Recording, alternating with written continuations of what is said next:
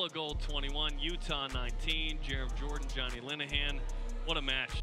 But NOLA Gold leaves Mardi Gras in New Orleans to get the win in the snow against Utah. Yeah, heartbreak for the Warriors. You know, for the most part, it was fantastic defense and then great patience from Nola. But they take all the rewards and they'll take this four points. Nicholas Feeks, the hero, three tries, the hat trick.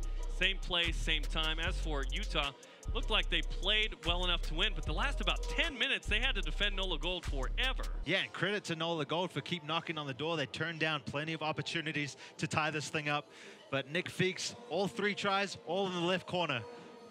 Timely stuff, too, at the end of the first half to get the lead, and then ultimately at the end of the second half to dot it down and get the win as well as Feeks gets it in. And, and Utah, the number two defense in the league, still has another good defensive game allowed two penalty goals, three tries, none of which were converted.